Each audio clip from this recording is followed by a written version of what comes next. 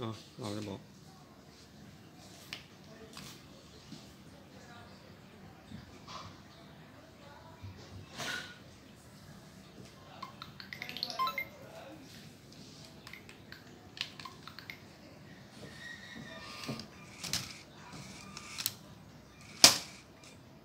Cho về nơi sản xuất.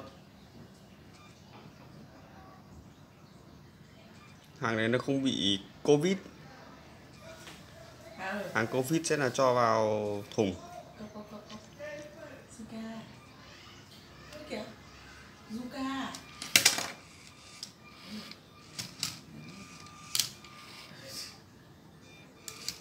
Đấy. Đây, hàng Covid đây.